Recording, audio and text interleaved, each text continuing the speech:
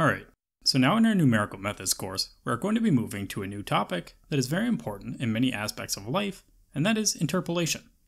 So, in this video, we'll begin by talking about what interpolation is and when we use it and apply it. So, let's begin with what is interpolation. Well, interpolation in numerical methods and mathematics in general means to find a function between two known points to solve for the output for any input. For example, let's say that we have two known values, let's say a and b, and we want to know the value of our midpoint c between the points a and b. Well, c isn't always going to be a nice linear relationship like our light blue c here. It could be an increasing or decreasing nonlinear function. So let's say that we found that our red function here appropriately interpolates our data between points A and B. Well now we can easily plug any input into our interpolation function and get our desired output. Another way to visualize interpolation is if we have some table that shows the temperature of our pot of water over time at three time points. Well, to find the temperature of our pot at time 0.15, we use interpolation. In general, we use interpolation to find missing data points the best we can. In theory, we could go through and track the temperature of our pot of water at every single time point, from 0 to infinity. However, this is time consuming and tedious, not to mention impossible. Therefore, we track enough points to fully understand our system the best we can, and we use interpolation when necessary to fill in the blanks. Hey everyone, welcome to our first interpolation topic of this numerical methods course and in this video, we will be understanding what Lagrange polynomials are. So, in this video, we will be talking about what they are, what we use them for, and we'll talk about some of the theory behind them. Let's begin with what a Lagrange polynomial is. Well, they are simply polynomials that we use to find functions. To give you a visual, let's imagine that we are heating a bucket of water on a stove, and we are given the following discrete data points for the temperature of the water over time. Well, what if we want to turn these discrete data points into a function that can tell us the water's temperature at any point between times 0 and 10? For example, let's say that we wanted to find the water's temperature at time 2.5. Well, without knowing our interpolating function here, we can't say for sure what that value is. This is where interpolation comes in. We can find functions that fit our data points and allow us to find previously unknown intermediate values through using continuous functions. In summary, Lagrange polynomials are just one of the simpler interpolation techniques that we can use to find functions between known data points. I'm just going to write the formula for Lagrange polynomials here.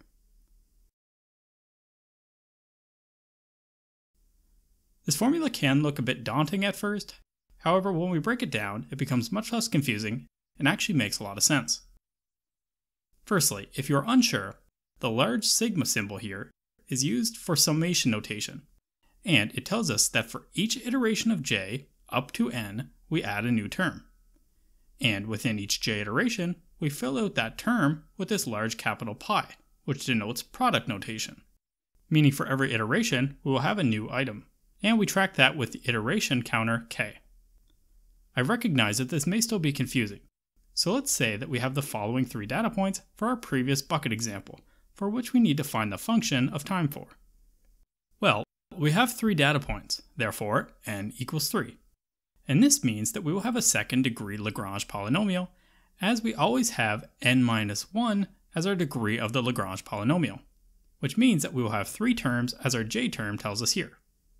We begin with our first term, which is when j is equal to 1. Let's begin with our y1 term. And because we are currently on j equals 1, we will not have any x1 values in this first term. Since in our product notation, we are told to exclude if k is equal to j. As this would lead to all terms going to 0, which I'll explain here in a minute. So we begin with this term when k equals 2 as it cannot equal 1. So we have our input variable x minus x2 over xj, which is x1 in this case, minus xk, which is x2, and because this is product notation, we multiply our next iterations until we reach n, which is 3 for this example. Therefore, through the same logic, we have the following, and this is all we need to do for our first term. Now we will create our new term as the summation term tells us. And we can just go ahead and complete the remaining terms using the same logic as before.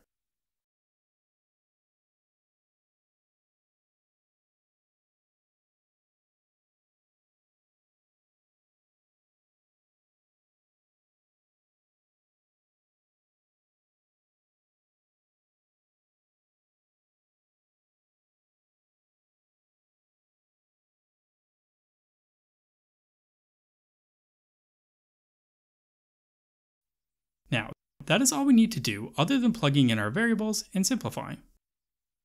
Previously I mentioned that it makes sense that we leave out k equals j, but why is that? Well, as interpolation functions need to go through all the data points that we give it, what would happen to this function if we gave it an input of x1 and we have x minus x1 present? Well, you can see that no matter what, terms 2 and 3 go to 0, as x1 minus x1 gives 0. Well, then we are just left with this first term. x1 minus x1 will again give us 0, whereas we know the answer should be y1. And this is why we remove the terms where k equals j. Now, the cool thing with Lagrange polynomials is that up until this part of our problem will be the same if you are interpolating for any problem with three data points. Then you would just go ahead and plug in your discrete data points for all the variables and simplify the function. In the coming videos, we will be completing several Lagrange interpolation examples, so stay tuned for those if you're still confused. Hey everyone. In our last video, we talked about what Lagrange polynomials are, and how we can use them to interpolate data. In this video, we're going to go through a first order Lagrange polynomial interpolation example so that you can see how we solve one of these problems.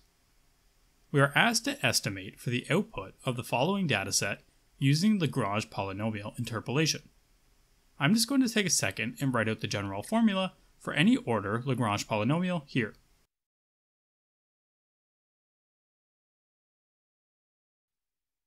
If you have seen our previous video on Lagrange polynomials, we talked about the degree of Lagrange polynomials.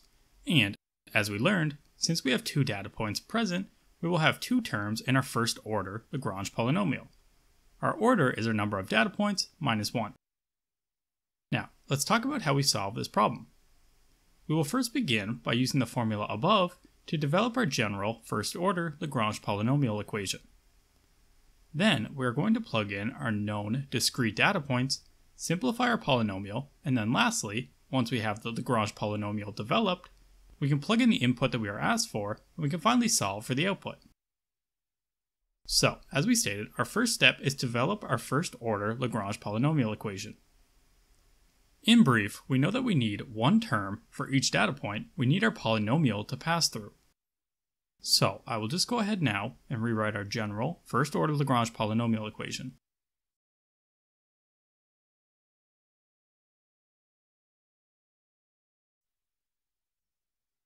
If you are at all confused on how I am developing this first order equation, check out our Introduction to Lagrange Polynomial video in the description down below.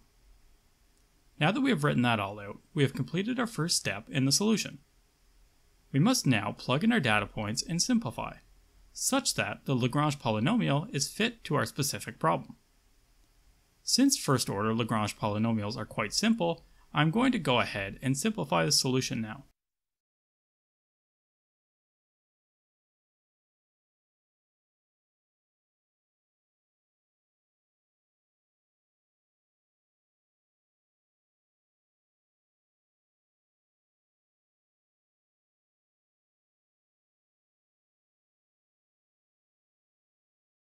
This leaves us with 5x minus 5, which is actually a straight line.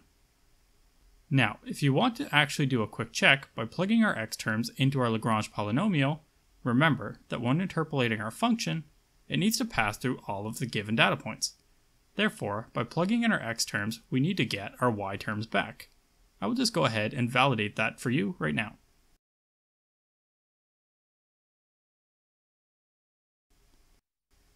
As you can see, we are returned our outputs as expected. Lastly, we just need to plug in the input of 2.2 into our function.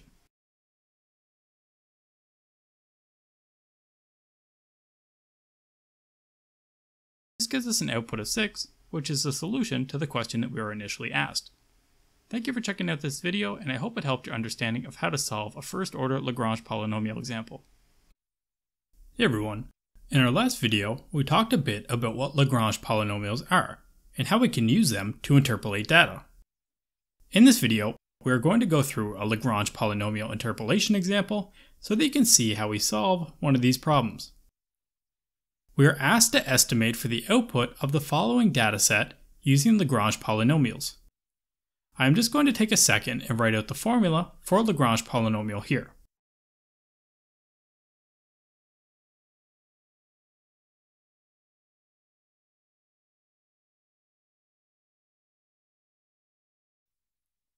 If you have seen our previous video on Lagrange polynomials, we talked about the degree of them. And as we learned, since we have three data points presented, we will have three terms in our second order Lagrange polynomial. Now, let's talk about how to solve this problem. We will first begin by using the formula above to develop our general second order Lagrange polynomial equation. Then we will plug in our known discrete data points, simplify our polynomial, and then lastly, once we have the Lagrange polynomial developed, we can plug in the input that we are asked for and finally solve for the output. As we said, our first step is to develop the general second order Lagrange polynomial equation, which I demonstrated in the past video. In brief, we know that we will need one term for each data point we have, as we need our Lagrange polynomial to pass through every data point that we give it. I will just go ahead now and rewrite the general second order Lagrange polynomial equation that we found in our last video. Now that we have that written all out, we just completed our first step in the solution.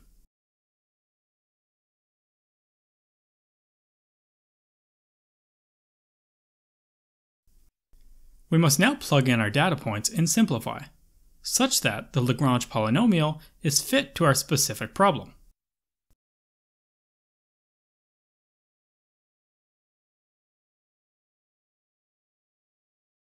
I'm just first going to solve for each individual term presented here.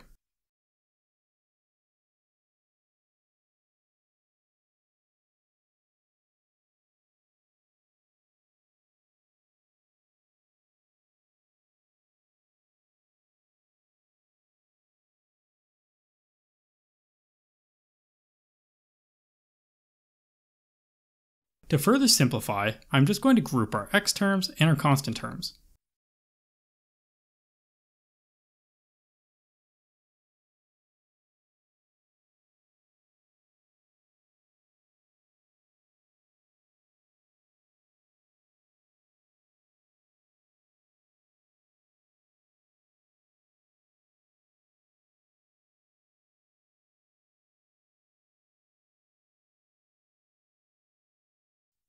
Which will look like this once completed. Now I'm just going to simplify the coefficient terms. As these are rational fractions, I'm just going to convert them to decimals, and this is our interpolated Lagrange function. We have minus 0.25 x squared plus 3x plus 1.25. Now, if you want, you can actually do a quick check by plugging our x terms into our Lagrange polynomial. Remember, when developing these interpolating functions, it needs to pass through every given data point.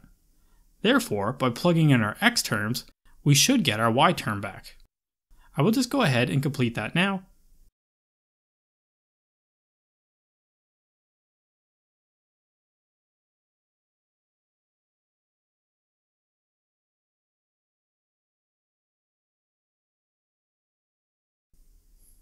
As you can see, we are returned our outputs as we expected.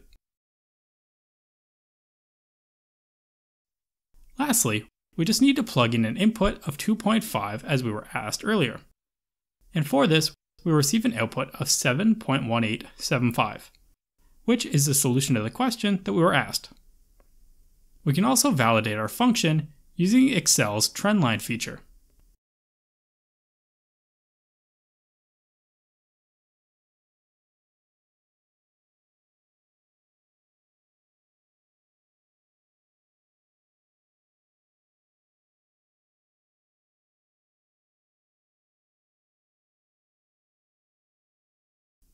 By creating our trend line with a second degree polynomial, you can see that we get the exact same interpolation function that we calculated.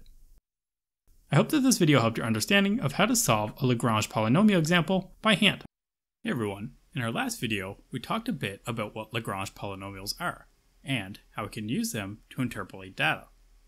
In this video, we're going to go through a third order Lagrange polynomial interpolation example so that you can see how we solve one of these problems. We are asked to estimate for the output of the following dataset using Lagrange polynomial interpolation for an input of x equals 3.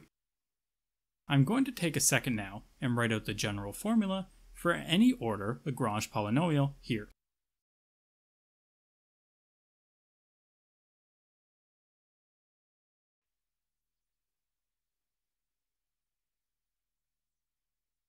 If you have seen our previous video on Lagrange polynomials, since we have four data points presented here, we're going to have four terms in our Lagrange polynomial.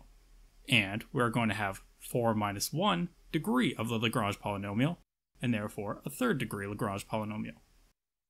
Now, let's talk about how we solve this problem. We will first begin by using the formula above to develop our general third order Lagrange polynomial equation. Then, we will plug in our known discrete data points, simplify our polynomial, and then lastly, once we have the Lagrange polynomial developed, we can plug in the input we are asked for and finally solve for our output. Our first step is to develop our third order Lagrange polynomial equation. In brief, we know that we will need one term for each data point we need our polynomial to pass through. So I will just go ahead now and write out the general third order Lagrange polynomial equation.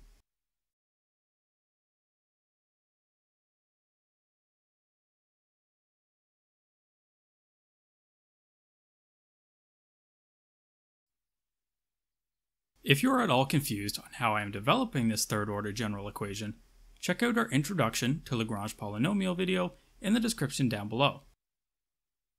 Now that we have uh, that written all out, we have completed our first step in the solution. We must now plug in our data points and simplify, such that the Lagrange polynomial is fit to our specific problem. Since we have quite a large number of calculations, I'm just going to go ahead and write out our full solution to this and we will return with our solution.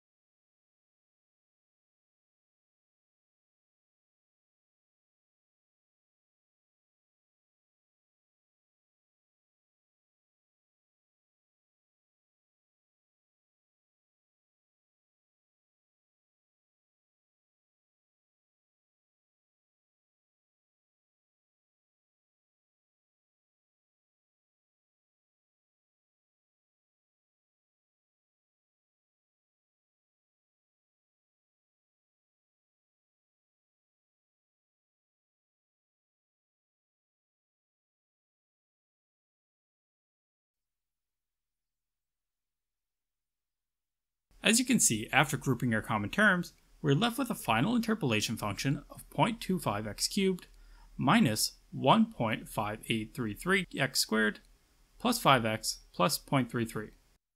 Now, if you want to actually do a quick check by plugging our x terms into our Lagrange polynomial, remember that when we are interpolating our function, it needs to pass through all of our given data points. Therefore, by plugging in our x terms, we need to get our y terms back. If we do not, that means that we made a mistake at some point in our calculations. I will just go ahead and complete that now.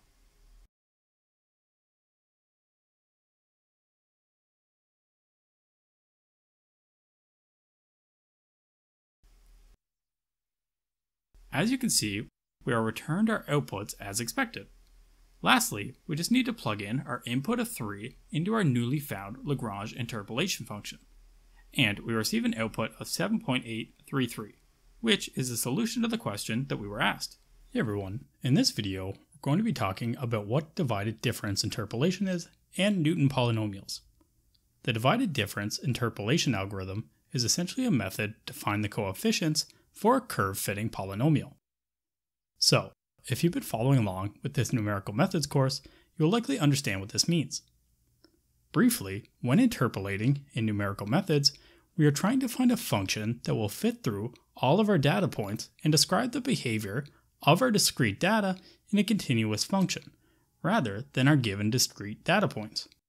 If you have not been following this course, I will leave some links to videos in the description down below that should help your understanding. In the divided difference method, we use Newton polynomials as our interpolating functions. A Newton's polynomial are just polynomials used to interpolate discrete data points from a given dataset. But you may ask, we have learned about Lagrange polynomials, why can't we just use those? Well, Newton polynomials through divided difference has many advantages, as it is faster, recursive, and through such, better, faster, and much more widely used than the Lagrange polynomials. We will talk about why this is the case later on in the video. Back to talking about the divided difference method, we can intuitively think of this through the following example. Let's imagine that we have a pot of water being heated slowly on a stove where we are tracking the temperature increase of the water at different points in time. And this gives us the following discrete data points. Graphically, this data set will look something like this. Then we are going to use the divided difference algorithm to find a continuous function using Newton's polynomials that pass through all of the points like this. Then we can find the output for any point within the bounds of our applied dataset. The general formula for an nth order Newton's polynomial is written here.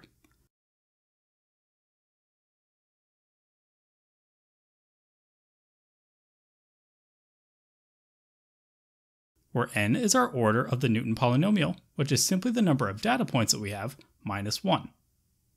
And to solve a Newton's polynomial, all we are going to do is find the coefficients that I've highlighted here. These coefficients can be written in many following ways. However, they all mean the same thing, and they are called our divided differences, hence the name. I'm just going to take a second and write out the general first order Newton's polynomial here. So let's begin talking about how we find the Newton polynomial coefficients and what they look like. Well, let's start simple with only two data points and derive this formula to better understand divided difference interpolation. With two data points, remember that we have an n minus 1 order Newton polynomial, and therefore we need a first order Newton polynomial, which looks like this. The divided difference of f naught will simply be y naught, as if you think about it, with only one point, our polynomial must pass through every point. Therefore, it can only logically be y naught. At x1, we know that our Newton polynomial will have to be y1, as it must pass through all of the points. Therefore, we can rearrange for this coefficient that we wish to solve for, and we can do that like so. And there we go. We just found the divided difference coefficient for a first order Newton's polynomial. I will link a great video in the description down below for a second order derivation if you're interested. The biggest advantage to Newton's polynomials is that they are recursive, meaning if we wanted to add a data point to our interpolation function, we do not need to redo all of the math again. We can just add in a new term on the end of our Newton polynomial, and this allows us to create what are called divided difference tables that utilize this recurrence relationship that I mentioned earlier.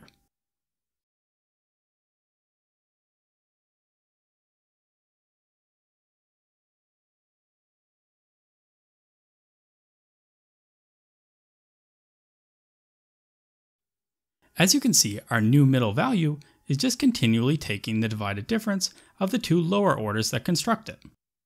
Through this table, we can easily find our necessary coefficients for our Newton's polynomial, as the top row here is all of the divided difference coefficients necessary to find your interpolating polynomial.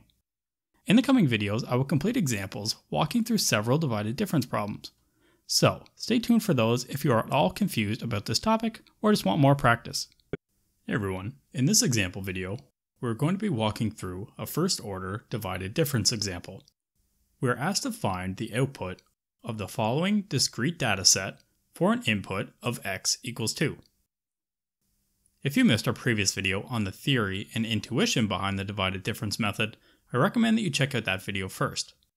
I will leave a link in the description down below for anyone that is interested. The first thing we need to do when solving this problem is determine what order Newton interpolating polynomial we will need to solve this problem. As we learned before, interpolating polynomials must always pass through every data point supplied to them. Therefore, our Newton polynomial will always be order of n minus 1. Therefore, in this problem, we are being asked to solve for a first order divided difference. A first order Newton's polynomial has the following general equation. As you can see, we are only missing these coefficients here, and these are called our divided differences, hence the name. But how do we find these coefficients for our Newton polynomial? Well, that is the magic of this method. We can simply use our divided difference table. To set up a divided difference table of the first order, we will create the column headers x, y, and then we'll just call it first order. Then, let's just translate our discrete data supplied to us in this table under x and y columns. Now, our first order divided difference is simply our difference in our y values divided by the difference in our x values. Now, for higher orders, this will get a bit more complicated, but we will talk about that in the coming example videos. So, to find our first order divided difference, we have y1 minus y0 over x1 minus x0, which works out to be 5 over 3. Applying this newly found coefficient, and remembering that the divided difference of 0 is simply y0, we can go ahead and solve and simplify for our Newton interpolating polynomial.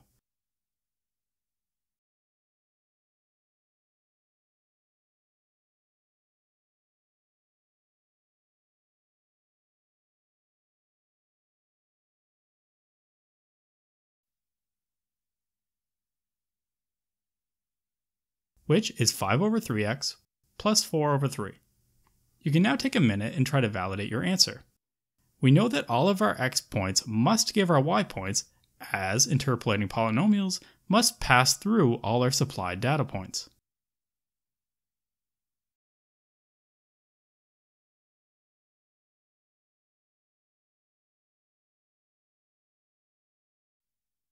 And in this case, we can see that we have done it correctly.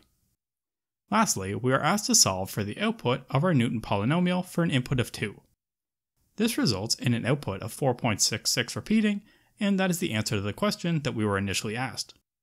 I hope that this video helped your understanding of how to solve a first order divided difference problem. Hey everyone, in the second order divided difference interpolation example video, we're going to be walking through how to solve a second order Newton divided difference example. This question is asking us to find the output of the following discrete dataset for an input of x equals 4. If you missed our previous video on the theory and intuition behind the divided difference method, I recommend that you check out that video first. I will leave a link in the description down below for anyone interested. Our first thing to do when solving this problem is determine what order Newton interpolating polynomial we will be solving. As we learned before, interpolating polynomials must always pass through every data point supplied to them. Therefore, our Newton polynomial will always be an order of n minus 1, where n is our number of data points. Therefore, in this problem, since we are supplied three data points, we're being asked to solve for a second order divided difference. And to find this, we use a second order Newton polynomial. A second order Newton's polynomial has the following general equation. As you can see here, we are only missing these coefficients. These are called our divided differences, hence the name of the algorithm. But how do we find these coefficients for our Newton polynomial? Well, that is the magic of this method. We can simply use our divided difference tables. To set up a divided difference table of the second order, we will create a table with the column headers x, y, and then I'll just call them first order and second order. Then, let's just translate our discrete data supplied to us in the table under the columns x and y. Just for clarity, I will also add the variable nomenclature here as well. Now, our first order divided difference is simply the slope between our first two data points. Therefore, we simply have our differences in our y values, y1 minus y0, divided by the differences of our x values, x1 minus x0. As you can see, this works out to 2, and this is our first order f0 1 divided difference. Much like we did for f0 1 divided difference, we're going to find the slope between points 2 and 1, and this works out to minus 0.25. And this is our first order divided difference, f12. Now, we are ready to move on to our second order column. This second order divided difference will be f0, 1, 2. To find this divided difference, we are essentially taking a difference of our first order divided difference over the total x range. You can follow our errors backwards and see that we arrive at x0 and x2 like so. Therefore, after completing the math here, we have minus 0.375. As you can see, we now have our three necessary coefficients. Remember, we learned in the theory video that f0 is simply y0. Just as a quick note, when completing even higher order divided difference problems, your coefficients will always be the highest divided difference within a given order column. To solve for our interpolating polynomial, we are going to input our coefficients and simplify. So I'm just going to go ahead and complete that now.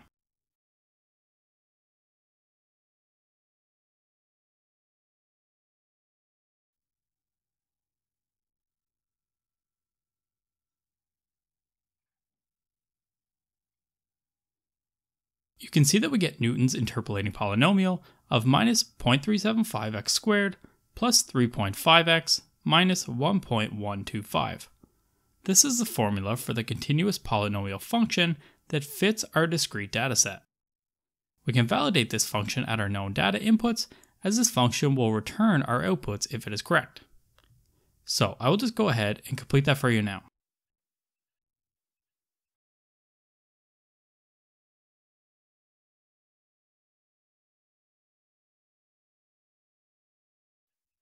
As you can see, our polynomial interpolating function is correct, as it passes through all three of our nodes, or our data points. Lastly, we are asked to use this interpolating function and solve for an input of 4. Doing so, we are returned 6.875, and that is the answer to this problem. I hope that this video helped your understanding of how to solve a second order Newton divided difference problem. In the past few videos, we have been talking about various interpolation methods. We covered methods such as Lagrange interpolation and Newton's divided difference interpolation. Also recall that we learn about these interpolation methods as we want the ability to construct smooth, continuous functions such that we can find the outputs of the systems wherever we wish, regardless of the information given to us. Now, let's talk about a new interpolation method called spline interpolation. If you recall, in the past interpolation methods, we constructed a polynomial from all of our discrete data points that we were given, and we made what is called a global polynomial interpolating function. By global, I mean that we used all of our data set, and not simply a section of it, to develop the interpolating polynomial. Therefore, as I've previously mentioned, it doesn't matter if we use Lagrange interpolation or Newton's divided difference interpolation. Both methods will result in the same global interpolating polynomial as they take in and output the same result. Although great in some scenarios, sometimes using a global interpolating method is impractical or less efficient than simply taking a local interpolation. Why though? Well, as we add more data points to a global interpolating polynomial, we need to increase the polynomial order, which in certain applications can give wildly inaccurate answers, like this graph here for example.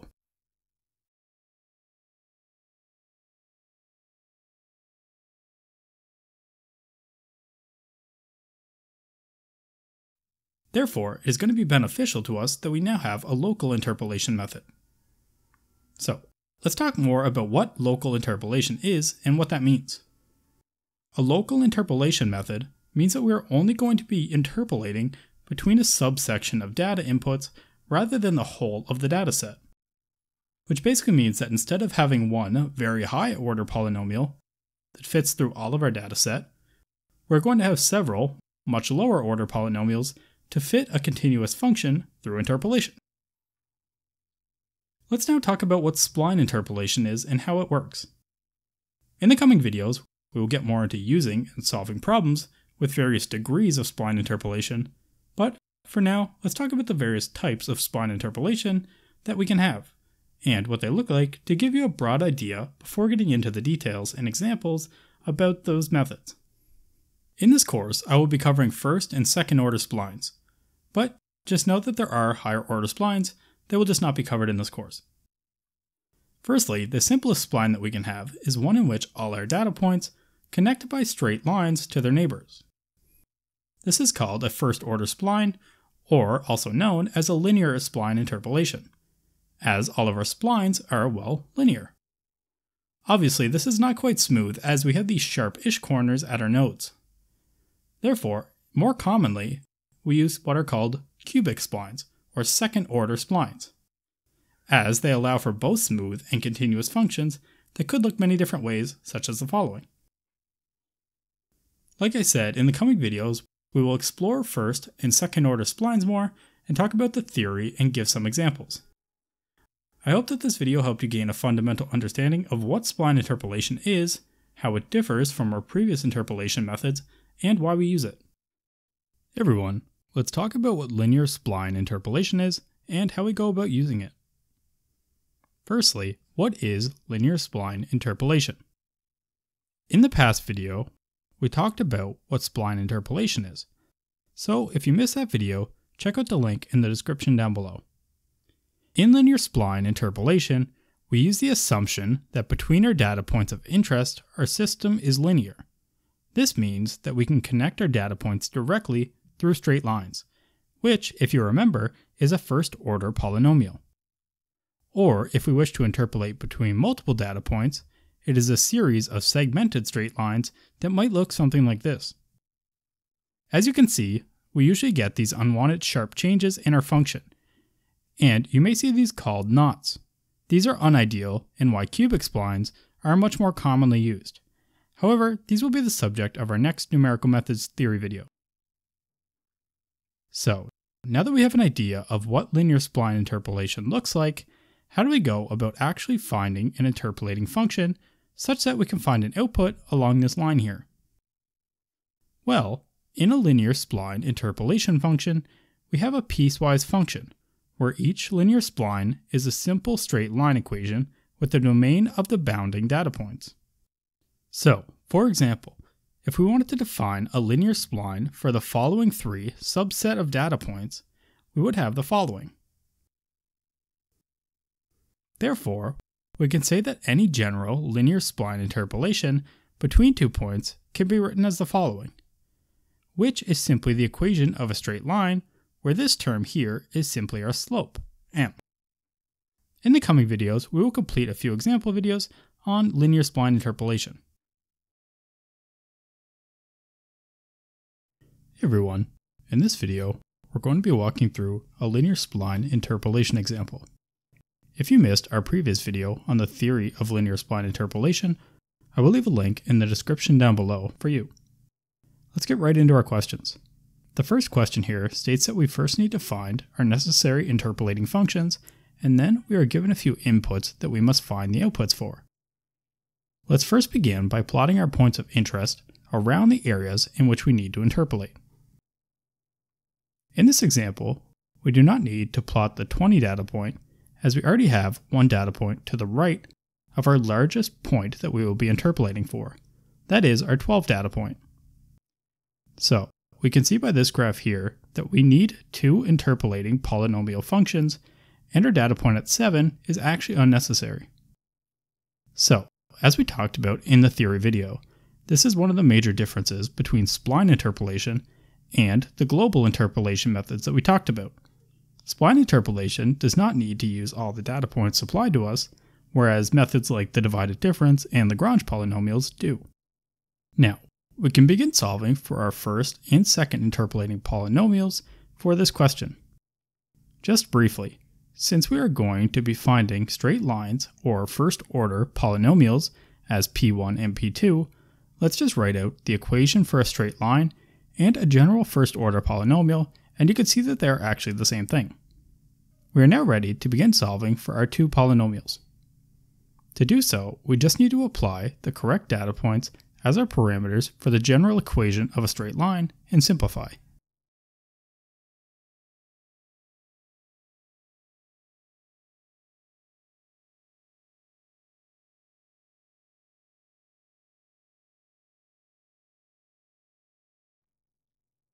This results in P1 being 1.2x plus 0.8, with a domain of this function being the following. Secondly, we will now solve P2 in the exact same way using our data points at x equals 9 and 12.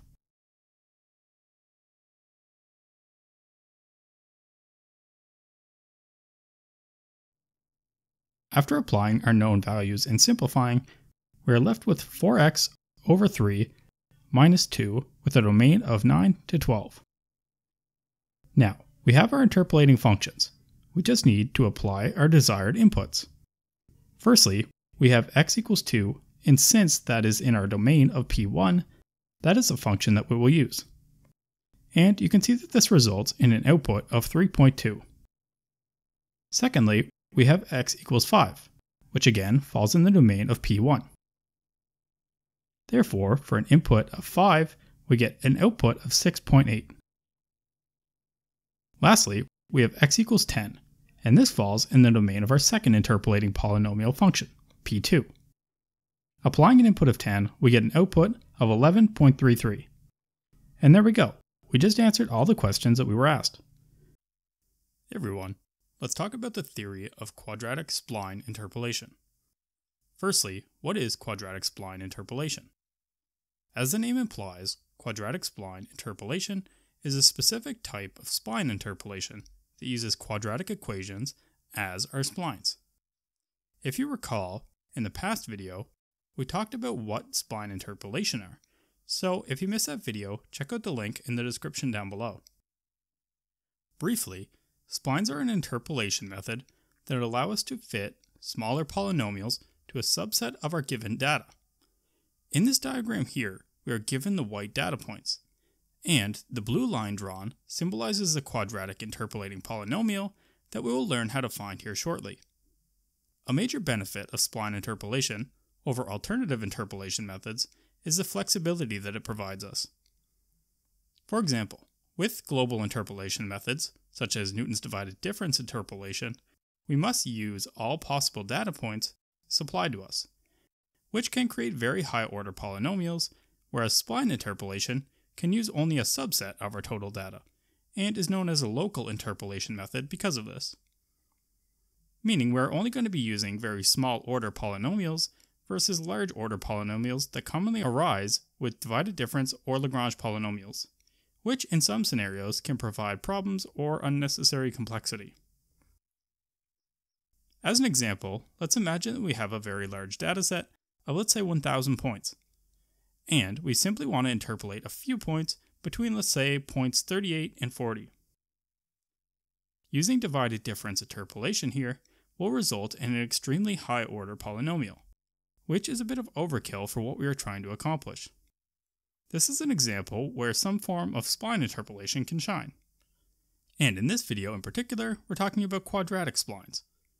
In the past video, we talked about linear splines, However, as we learned, these are much less used in much of numerical analysis and they result in non-smooth curves at data points. Quadratic splines, and particularly cubic splines, are much more common as they introduce curvature, which as you can see by the following example is often very important to reduce errors of our interpolating functions. Essentially, with quadratic spline interpolation, we're going to be increasing our interpolating polynomials functions order by 1. Instead of using first order polynomials to find our interpolating functions, we are now going to be using second order polynomials. In terms of our data points, that will look something like this. But how do we go about finding the quadratic interpolating function itself? Although we now have the added benefit of curvature to our splines, we also have a bit more complexity in finding our spline functions. Whereas previously we simply were using the equation of a straight line to solve for our splines, we can no longer do that. Looking at the general equation for a second order polynomial, it is clear that every spline we create, we are going to have three unknowns.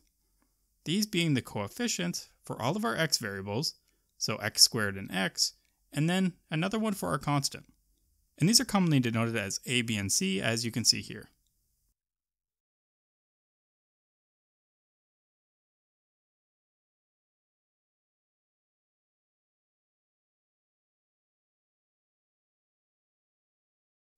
So, how do we go about finding 3n worth of equations? Well, we need to find them by being clever and understanding our system more.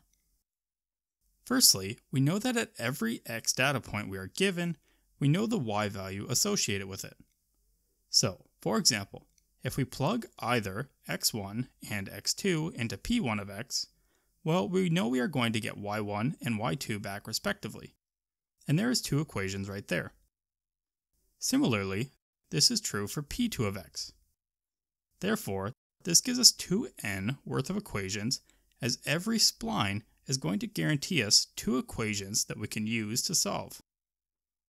So for our above example, this will give us four of our six equations that we need. Next, we can look at our interior data points, meaning our non-terminal data points. Isn't it true that if we wish to have a smooth function at every internal data point, our slopes will be equal where they connect?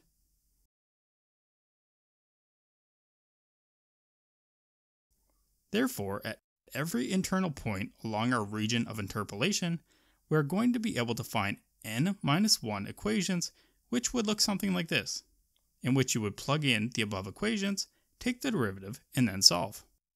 In our above example, this gives us one equation, therefore we are still missing one. Here it is common practice to assume that the curvature of our first term is zero, meaning the second derivative of our first spline is zero, and thereby making our first polynomial a linear spline, but the remaining curves will have curvature. In the next video, we will walk through an example of how to complete a quadratic spline interpolation problem so if you're at all still confused on this topic, I recommend that you check out that video now. Hey everyone, in this video, we're going to be walking through a quadratic spline interpolation example. If you missed our previous video on the theory of quadratic interpolation, I will leave a link in the description down below for you. Our first question tells us that we need to find all the relevant interpolating functions between the following data using quadratic spline interpolation. The first thing that I'm going to do is go ahead and plot our data points so that we can better visualize what we are being asked to solve. Plotting the data that we were given looks like this. It is clear that there are going to be three splines that we are going to have to find, which makes sense as our number of splines, n, will always be one less than the number of data points that we are given. As we learned in our quadratic spline theory video, we are going to have 3n unknowns. Therefore, we are going to have 9 unknowns and therefore need 9 equations to find all of our necessary unknowns. Before we get into solving this problem, I'm just going to go ahead and develop a plan to find our solution. The first thing that we are going to do is write out our quadratic functions for all three of the interpolating polynomials that we wish to find. Secondly, we will identify our nine unknowns within our functions so that you can visualize what we are going to be finding. Thirdly, we are going to be presented with a system of equations that we will solve and find all of our unknowns. Then, lastly, once we have our whole system solved, we just need to plug in our x inputs for the second part of the question. Let's begin solving. As we said, the first step that we are going to do is write out our interpolating polynomials. Using quadratic interpolation, each of these equations are simply second order polynomials, which look like this.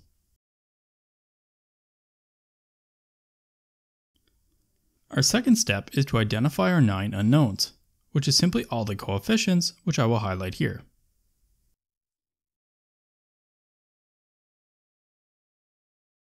Now, we need to find our nine independent equations to solve for our nine unknowns.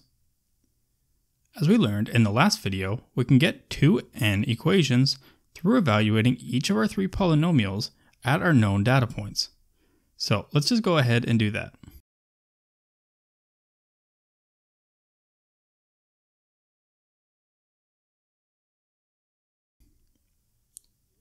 To elaborate a bit more, we're going to evaluate our first polynomial with its two data points, so x1 and x2. P2 will be evaluated at x2 and x3, and lastly, P3 will be evaluated at x3 and x4.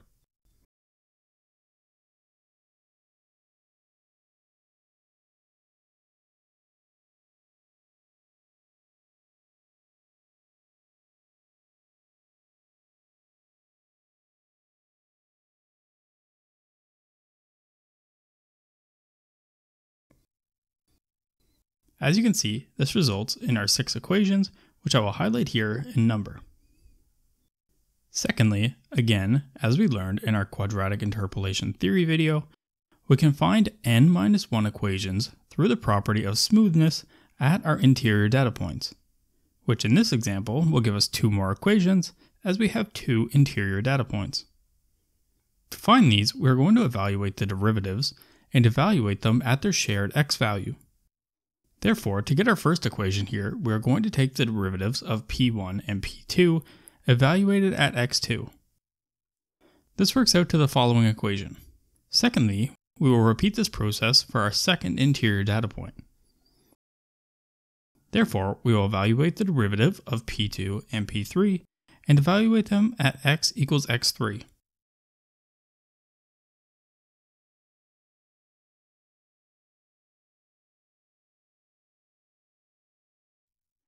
And this results in the following equation.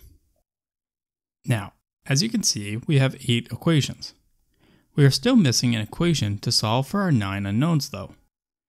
At this point, it is common to assume the first point's second derivative is equal to 0, and thereby assume that our first polynomial is actually linear interpolation as the assumption assumes zero curvature. However, if you're writing a test or just using quadratic interpolation, you may be given or assume a better assumption. If so, obviously use that and not this assumption. However, for me, in this example, this assumption is the best option. Therefore, our final equation works out to the following. Now that we have our 9 equations, we can solve for all 9 of our unknowns. To do this, we could try doing it manually. However, this would not be fun. We have all linear equations, and therefore, we have what is called a system of linear equations. Therefore, we can use one of our linear system of equation solvers that we developed previously. So, let's just write out our matrix so that we know what we are trying to solve. You can think of all these columns as our coefficient values for each of our equations. I will write that out here so you can better visualize it. Now, I'm going to use our Gauss elimination solver with partial pivoting that we developed in a previous numerical methods video. I will leave a link to that video down in the description down below. However, there are systems of linear equation solvers online that you can find by simply Googling them. Now that we're inside Python, I'm just going to take a minute and enter our matrix into two variables as that is how I wrote this Gauss elimination solver function. Now, we just need to call our function and insert our variable matrix and then our constant matrix. And as you can see, we have now solved for the nine unknowns. Each of these x values represents a coefficient for our three interpolating polynomials. x0 is a1, x1 is b1, x2 is c1, x3 is a2, and so on. Applying these three equations to our interpolating polynomials results in the following equations. To visualize these polynomials, I'm just going to plot them rather crudely inside Microsoft Excel.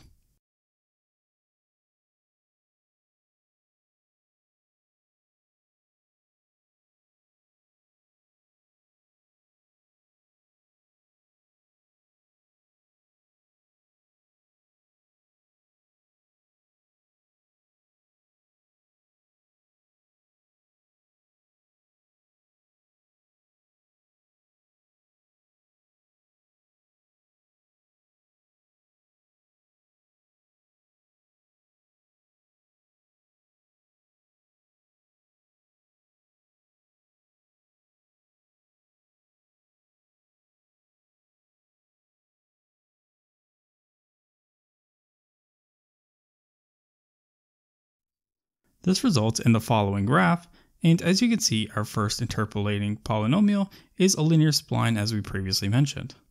Now, back on our blackboard, we can begin solving the second question that we were asked. We were asked to evaluate the interpolating polynomials at inputs of 2, 4, and 7. Quickly, I'm just going to write out our polynomials in their respective domains. For an input of 2, we're going to be using our first interpolating polynomial based on our domains.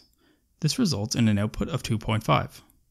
Secondly, for an input of 4, that falls in the domain of our second interpolating polynomial. This results in an output of 4.75.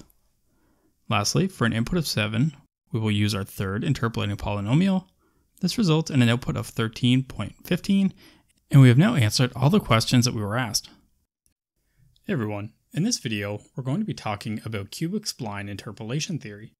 We're going to begin with a brief overview of spline interpolation, define what cubic spline interpolation is, speak about why it is used, and then lastly we'll walk through how to implement a cubic spline interpolation. Cubic spline interpolation is a powerful technique used to approximate a smooth curve that passes through a set of data points. Similar to the linear and quadratic splines that we have talked about in our past few videos, it breaks down the data range into smaller segments. However, we are now going to fit a cubic polynomial to each section and this ensures continuity and smoothness at the connection points, which is something we were lacking in both the linear and quadratic splines.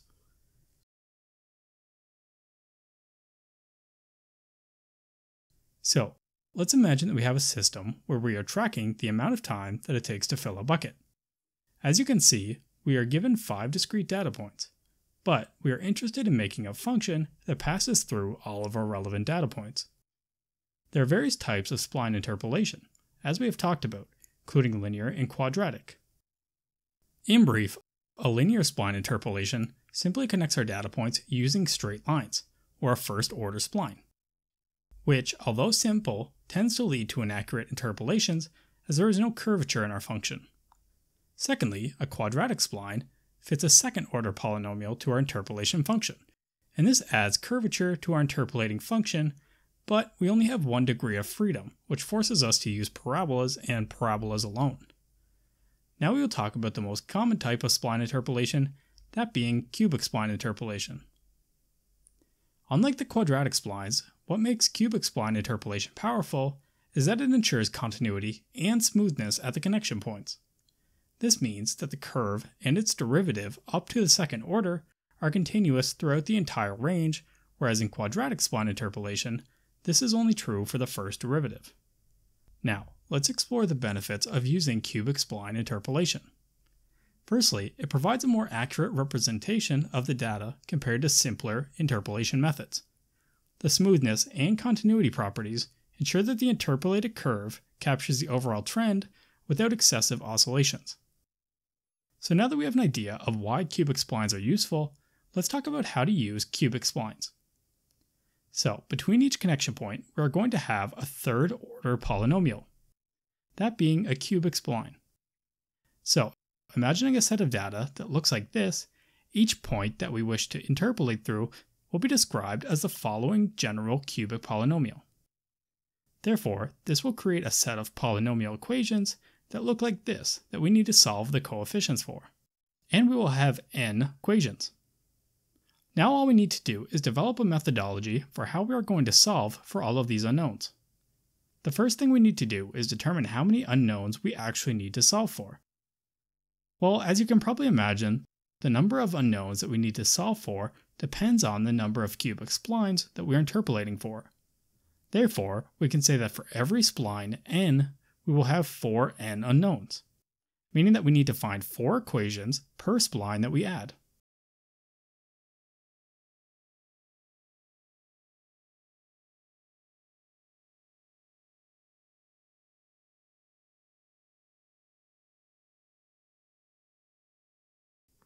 Let's try to find our 4n equations. Firstly, we will have some known data points. These are the input-output pairs that we are interpolating through. Because each data point will share a spline, we actually get 2n equations. Therefore, we just need to find 2n more equations to be able to begin solving our system of equations.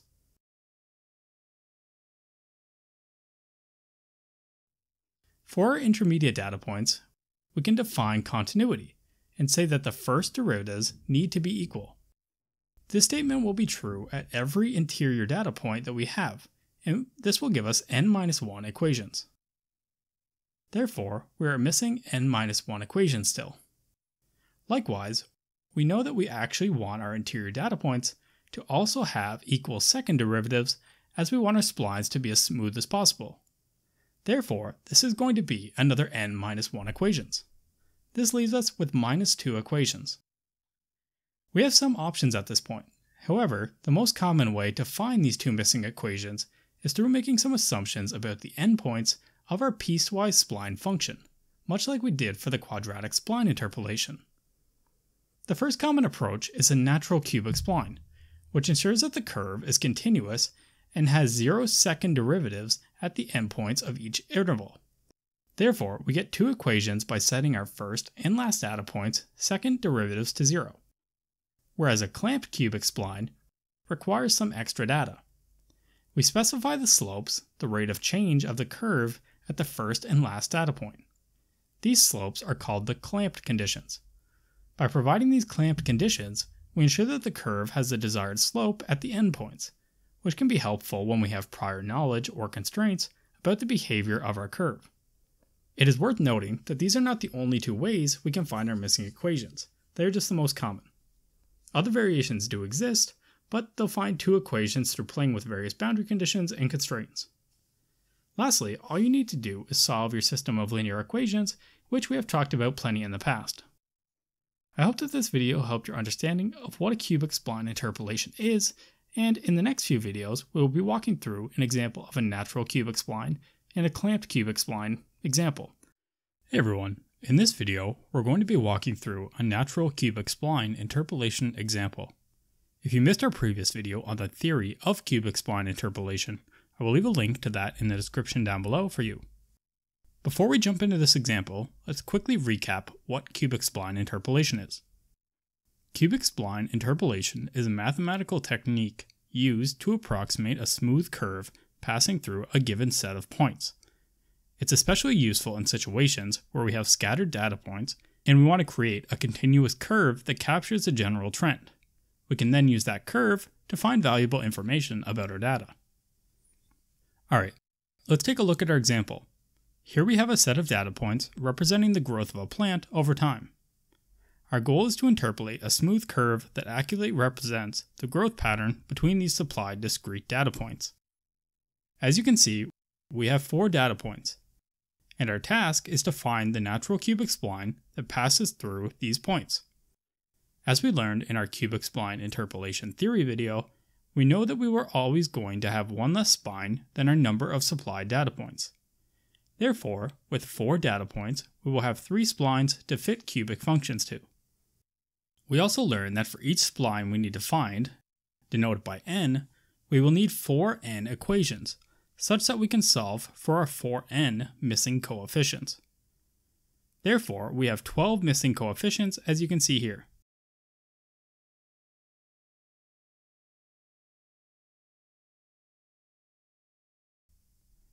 So, let's quickly make a plan of attack on how we want to go about solving this problem. First, we need to find 12 equations such that we can solve for our 12 missing coefficients.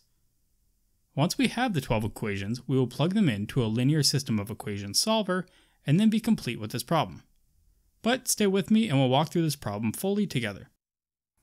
So, let's begin working out how to find our 12 equations. As we learned in the previous theory video, we can get 2n equations through evaluating each of the three polynomial functions at our known data points. So let's just go ahead and do that.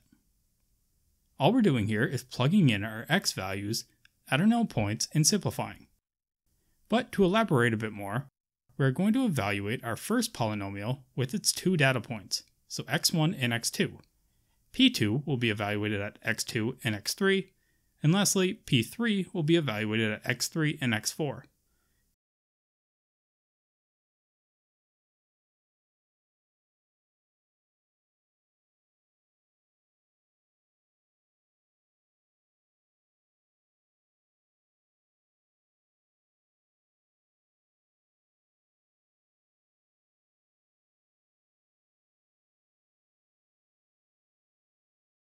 As you can see, when we are done here, this results in 6 of our 12 equations.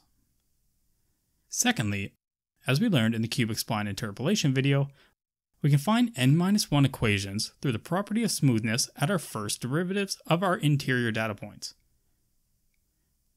Which, in this example, will give us two more equations as we have two interior data points, and you can see that here.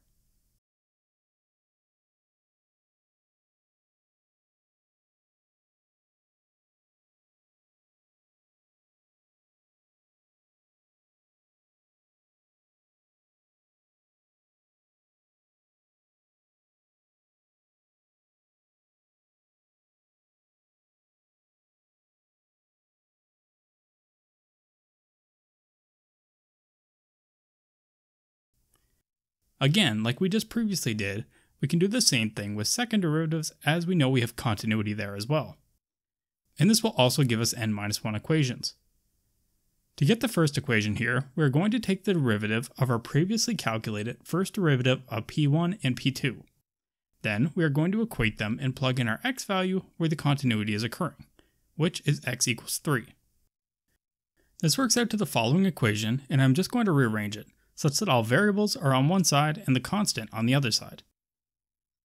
Secondly, we can repeat this process with our second interior data point, between p2 and p3. Therefore, we will again take the derivative of our first derivative p2 and p3 functions we found earlier and evaluate them at x equals x3, which is 5. And again, we will rearrange this equation to put all variables on one side and just leave our constant, which is 0, on the other side of the equation. Now, as you can see, we have 10 equations and we are only missing 2. We were told to assume a natural cubic spline, so let's do that. In a natural cubic spline, we assume that the second derivative of our endpoints are both equal to 0, meaning at that point it is simply a straight line. So let's just go ahead and calculate the second derivative of p1 and p3 at points x1 and x4 respectively to get our remaining two equations. And again, just ensure that we are always rearranging our equations to put all our variables on one side, and we'll leave our constant, which is a zero in this case, on the other side of the equation. Now that we have all of our 12 equations, we can solve for our 12 unknowns. To do this, we could try doing it manually. However, this would not be fun and take a while. Through using simple polynomials, we will always have linear equations, and therefore we have a system of linear equations. And from our previous lessons in this course, we actually know how to solve these. So I'm just going to write out our matrix so that we know what we are trying to solve. You can think of all these columns here as our coefficient values for each of our equations. And I will write this out here so that it's easier to visualize. Now, I'm going to use our Gauss elimination solver with partial pivoting that we developed in a previous numerical methods video. I will leave a link to that video also in the description down below if you missed it. However, there are systems of linear equation solvers online that you can find by Googling them. Now that we're inside Python, I have opened the Gauss elimination system of equations solver with partial pivoting. I took a minute already and entered our square matrix we just wrote down and entered in our variables and constant matrices here. We just need to call our function and insert our variable matrix and then our constant matrix and run the program. And as you can see, we have now solved for our 12 unknowns. Each of these x values represents a coefficient of our three interpolating polynomials. x0 is a1, x1 is b1, x2 is c1, x3 is d1, and so on. To visualize these polynomials, I'm just going to plot them rather crudely inside of Microsoft Excel, keeping in mind our domains that we have talked about previously, as you can see, this results in the following very nice smooth function.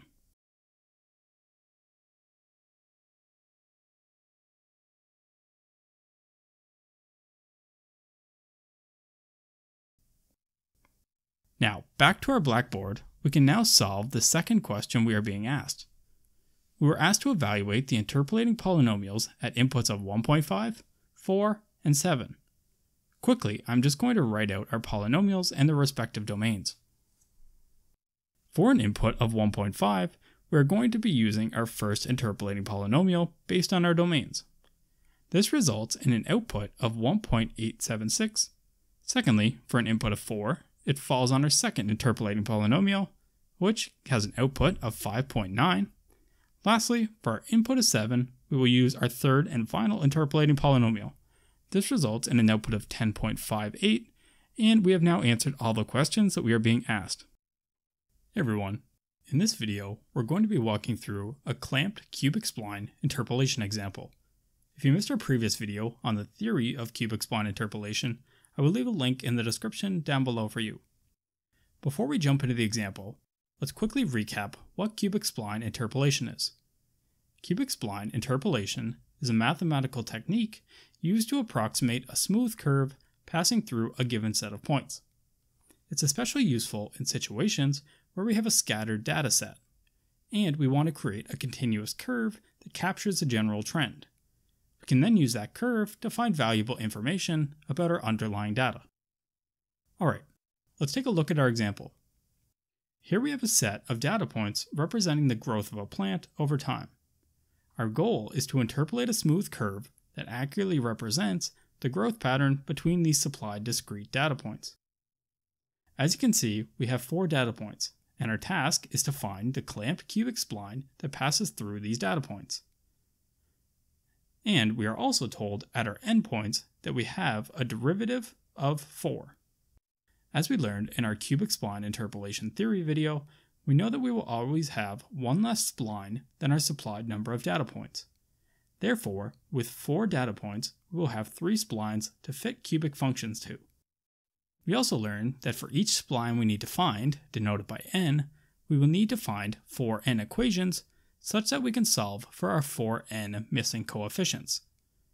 Therefore, we have 12 missing coefficients as you can see here. So let's quickly make a plan of attack on how we want to go about solving this problem.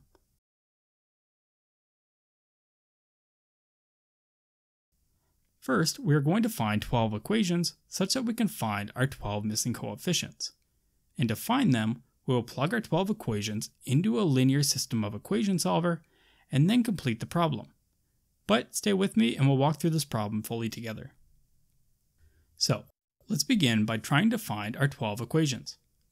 As we learned in the previous theory video, we can get 2n equations through evaluating each of our three polynomial functions at our known data points. So let's just go ahead and do that.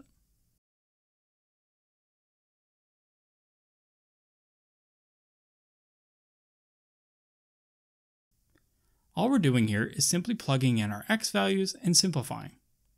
But to elaborate a bit more, we're going to evaluate our first polynomial with its two data points, so x1 and x2. p2 will be evaluated at x2 and x3, and lastly, P3 will be evaluated at X3 and X4.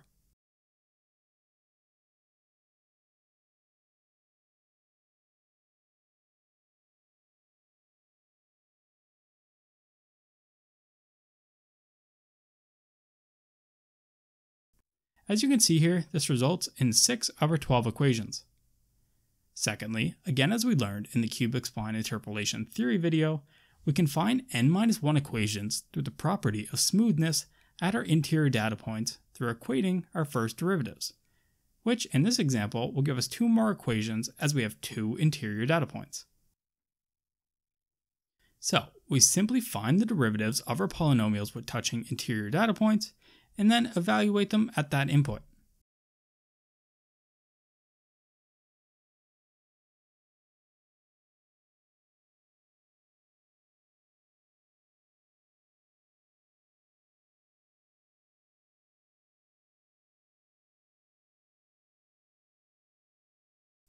And here are the two equations that we get from this.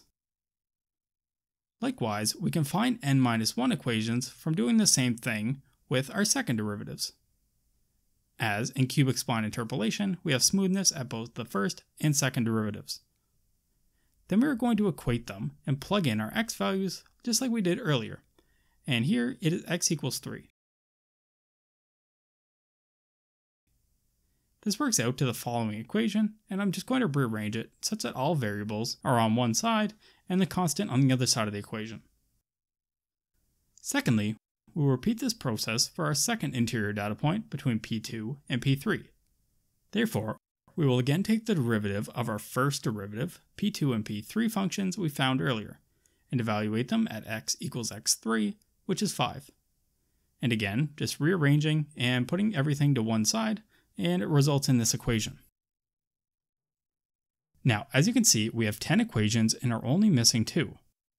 As we were told earlier to use clamped cubic spline and our instantaneous rate of slope at both endpoints is 4, we're going to use that now. In a clamped cubic spline, we'll use some known facts about the rate of change at the endpoints of our interpolating function. As we were told in the beginning of our question, assume that the rate of change at points x1 and x4 are 4. So let's just go ahead and use our previously calculated first derivative of p1 and p3 at points x1 and x4 respectively to get our remaining two equations. Now that we have all of our 12 equations, we can fully solve for our 12 unknowns. To do this, we could try doing it manually, however this would not be fun. Through using simple polynomials, we will always have linear equations, and therefore a system of linear equations. We can use our linear system of equation solvers that we have developed in the past. So let's just write out our matrix so that we know what we are going to be trying to solve for. You can think of these columns as our coefficient values for each of our equations. And I will write this out like so, so it's easier to visualize. Now, I'm going to use our Gauss elimination solver with partial pivoting that we developed in a previous numerical methods video. I will leave a link to that video down in the description down below if you missed it. However, there are also a system of linear equation solvers online that you could find by Googling them. Now that we're inside Python, I have opened the Gauss elimination system of equation solver with partial pivoting. I took a minute already and entered a square matrix we just wrote down and entered it into our variable and constant matrices here. Now, we just need to call our function and insert our variable matrix and then our constant matrix and run the program. As you can see, we have now solved for all of our 12 unknowns. Each of these x values represents a coefficient for our three interpolating polynomials. x0 is a1, x1 is b1, x2 is c1, x3 is d1, and so on. To visualize these polynomials, I'm just going to plot them rather crudely inside Microsoft Excel, keeping in mind our domains that we talked about previously. As you can see, this results in the very nice smooth function.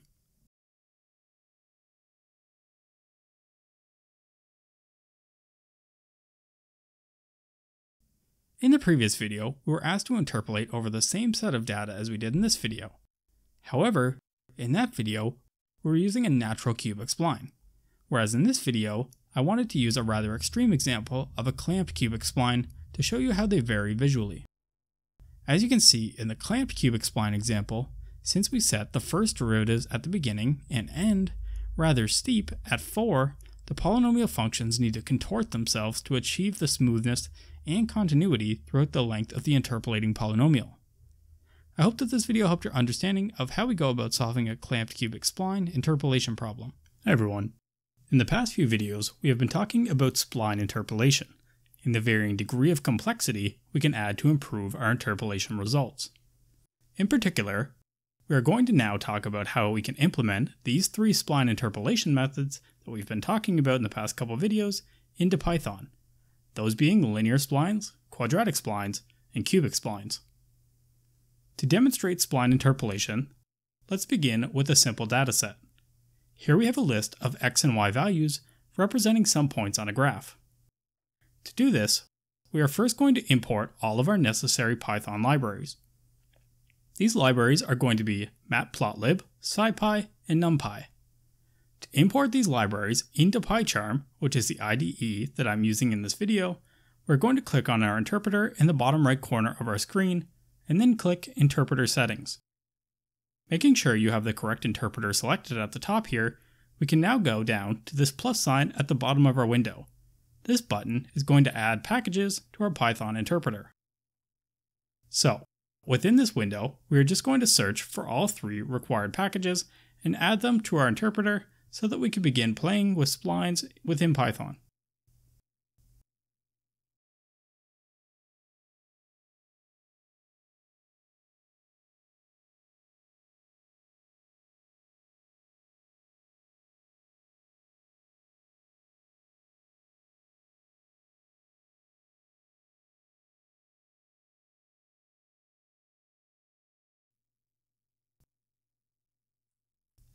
Back to our main Python file, we can import our downloaded packages.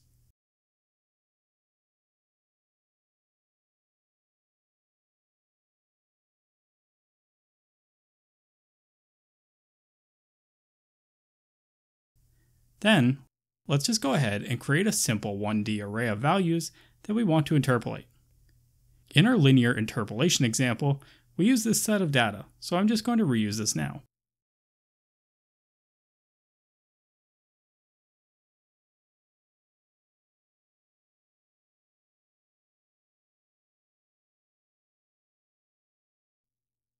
To visualize our data, we are going to use matplotlib. To begin, let's just create a simple scatter plot of our data. To do this, let's call our matplotlib function like so, and tell it we want to plot our x and y data points. Now, if we run our file, it'll give us a line graph, but that's not what we want right now. We said that we wanted to plot a scatter plot. To do this, we just add a circle marker to our data points like so, with a label to note it that these are our data points.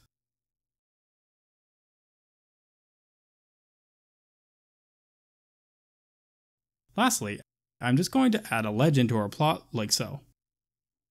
Now, when we run the program again, we can see that we have just created our scatter plot, which is exactly what we wanted. To create a linear interpolation between these data points, we need to create two variables. Firstly, we need to create another set of x data points that will be plotted along with our interpolated y values. One way of doing this is through the numpy linspace function which takes a starting value, an ending value, and then a number of equally spaced intervals between those two previous values. As we can only interpolate between our lowest x value and our highest x value, I'm going to use the numpy min and max function such that our xinterp variable fluctuates with our data entry. Then, let's just arbitrarily select 50 intervals. Now, let's make a one-dimensional linear spline interpolation through these data points. To do this, we'll make a new variable called yLinear. Then we'll call our 1D SciPy interpolation function like so, and tell it that we want to interpolate our dataset. Now, let's just add in another plot like so.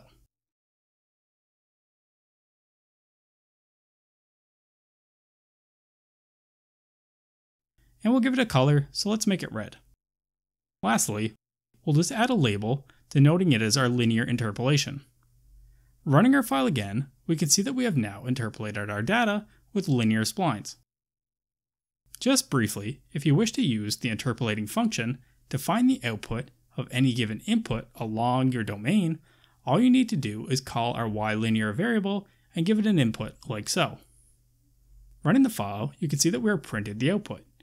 This allows you to easily call the function and use it however you need.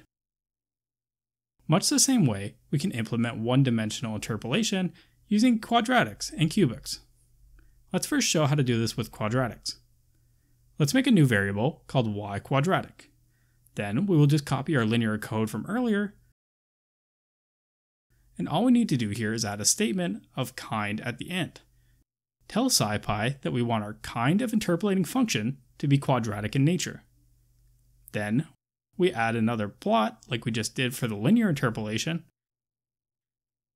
Running our program, you can now see that we have successfully implemented a quadratic interpolation. One thing to note here is if we do not have enough intervals in our x direction on xinterp, then our quadratic spline will not look smooth. This does not change anything about the y quadratic object, it's just visually how matplotlib can interpret and present the data to you. Lastly, let's talk about cubics, the most common form of interpolation. I'm just going to go through the exact same process that we just did with the quadratic splines. We'll add a new variable called yCubic and set our kind to cubic. Then we'll add another plot like we did with the past two interpolation methods. Running our program, you can now see that we have successfully implemented a cubic interpolation. One thing to note here, though, is that we cannot manipulate boundary conditions through this method. We will need to use something like the cubic spline function. So let's show how that works now. Let's add that function to our import.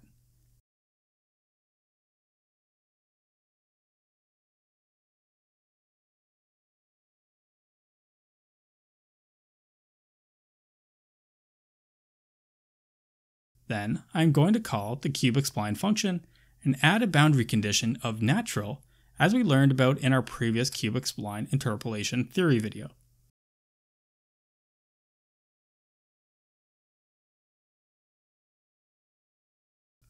Then we'll add the plot line of code and call it cubic cubexpline BC for boundary condition.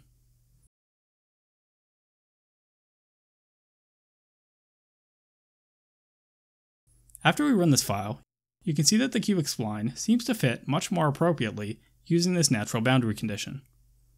I hope that this video helped your understanding of how you can implement and use one-dimensional spline interpolation within Python.